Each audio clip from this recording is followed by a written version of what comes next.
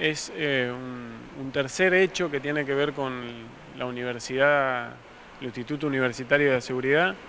Es el tercer hecho internacional en cuanto a, conocimiento y capacitación. Y es muy importante por la materia que se toca, que son los derechos humanos.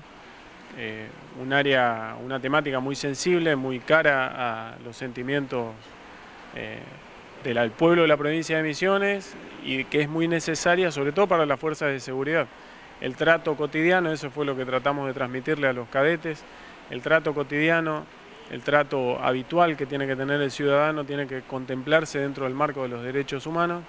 Y la enseñanza, la capacitación, la apertura mental, sobre todo de tres referentes españoles de la Universidad Carlos III de Madrid, es muy importante y no es un hecho menor que la provincia de Misiones, en su afán de capacitar de dar ese puntapié inicial eh, en muchas áreas de la educación.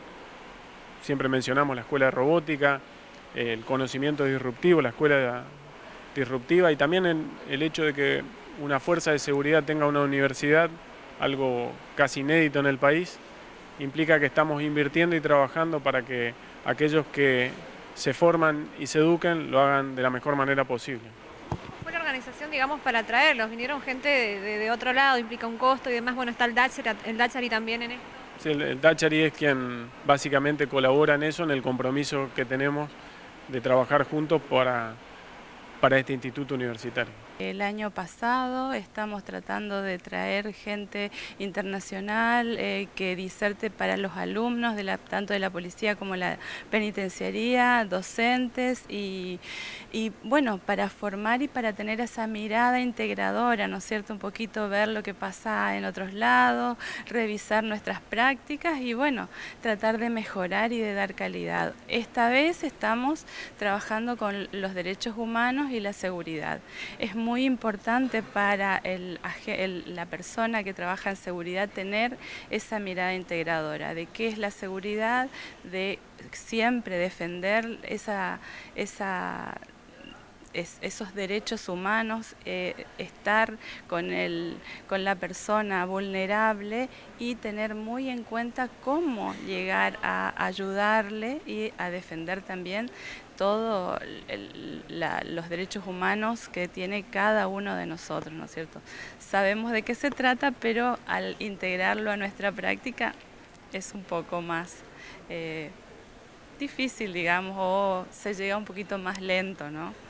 Importantes catedráticos de Madrid eh, vinieron. ¿Cómo, ¿Cómo fue para traerlos, digamos, y el accionar del Dachari para esto?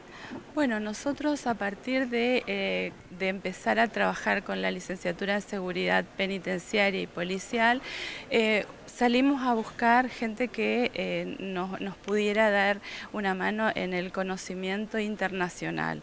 A partir de ahí logramos convenio con la Guardia Civil Española y la Universidad Carlos III de Madrid que tienen una mirada integradora tanto de, desde lo eh, político, académico y de la seguridad, digamos. Entonces, a partir de ahí, estos eh, disertantes son disertantes que, eh, que cada tanto hacen prácticas en todos los países de la Unión Europea y además los traen eh, a, los alumnos. Y bueno y además bueno nosotros tenemos ese privilegio eh, de, llegar hasta los alumnos de nuestra policía y nuestra penitenciaría.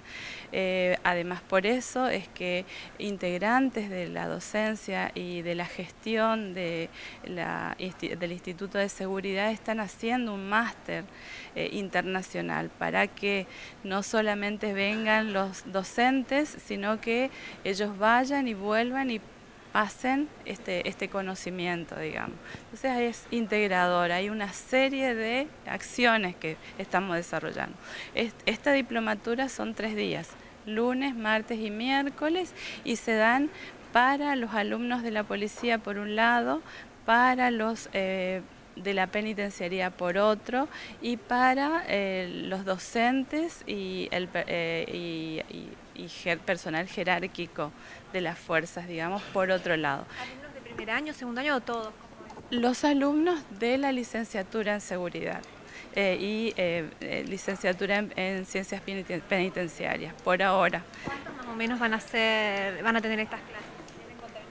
Y 500 de la policía, 200 de penitenciaría y más o menos 200 entre docentes y personal jerárquico, alumnos, docentes y bueno, directivos, digamos. Entonces eh, lo damos en tres lugares diferentes y los docentes van rotando, cosa que se haga un diálogo más, eh, más eh, para cada uno de los grupos, digamos, ¿no es cierto? Esa es la idea. ¿Van a tener algún tipo de evaluación final después cómo va a ser? Y la evaluación se da en la práctica, digamos, ya ahí en esos tres días se va a ir trabajando teoría y práctica y bueno, y también se va a comentar casos eh, verídicos, digamos, y cómo fueron resueltos.